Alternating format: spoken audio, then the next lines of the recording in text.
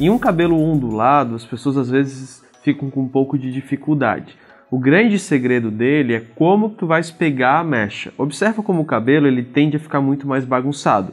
Então a gente vai pentear, forçando para que ele fique o mais liso possível. Não tem nenhum produto aqui, tá? É só água. A gente vai pentear, tenta deixar bem liso.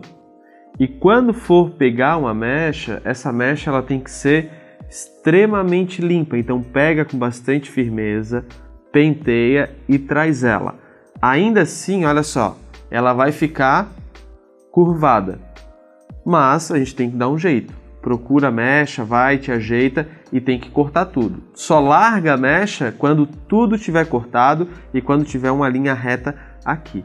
É igual cortar cabelo liso. A dificuldade é porque pegar o cabelo é um pouco mais complicado. Então a gente vem, pega, organiza, puxa, vem e corta, certo?